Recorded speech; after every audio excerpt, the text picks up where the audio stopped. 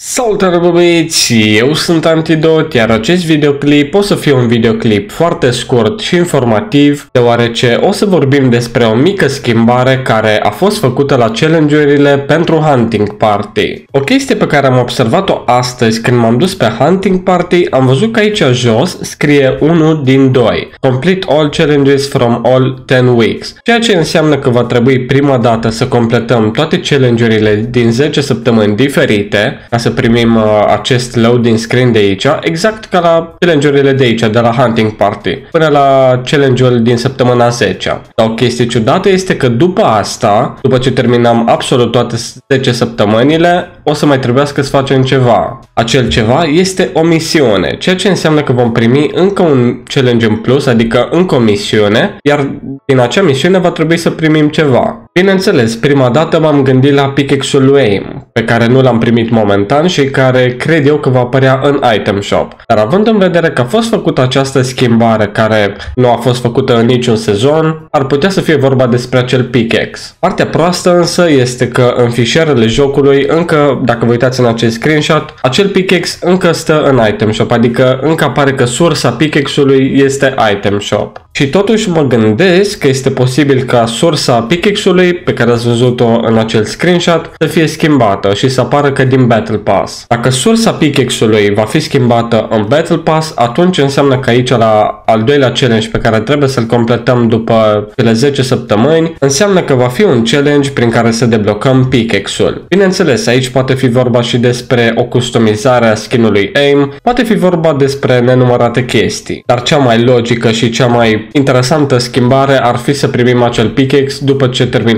încă un challenge de aici. Cel puțin asta este părerea mea, momentan nu am nicio idee și nu pot afla alte informații despre acest lucru. Probabil că peste o săptămână, peste două săptămâni, e posibil să aflu alte informații dacă este vorba despre încă un challenge. Pentru că doar peste o săptămână sau două o să facă alt content update și în acel content update este posibil să adauge niște fișiere care au legătură cu acest challenge. Dar da, băieți, aștept și părerile voastre în secțiunea de comentarii, deoarece a fost doar un videoclip informativ ca să vă faceți o idee și, na, ca să ne gândim la acest lucru, despre ce ar putea să fie vorba, despre pickaxe, despre customizare, abar nu am. Îmi puteți scrie ideea sau teoria voastră în secțiunea de comentarii, iar prin asta vom începe această discuție și poate până la urmă ne dăm seama despre ce este vorba. Vreau să vă spun încă o dată că acest lucru nu s-a mai întâmplat în niciun sezon, ceea ce înseamnă că este ceva special. Dar cam acestea au fost toate informațiile pentru acest videoclip. Dacă ți-a plăcut, nu uita să spargi butonul de like pentru mai mult conținut cu Fortnite, nu uita să te abonezi și să activezi notificările de pe clopoțel. Și până data viitoare, eu am fost Antidot.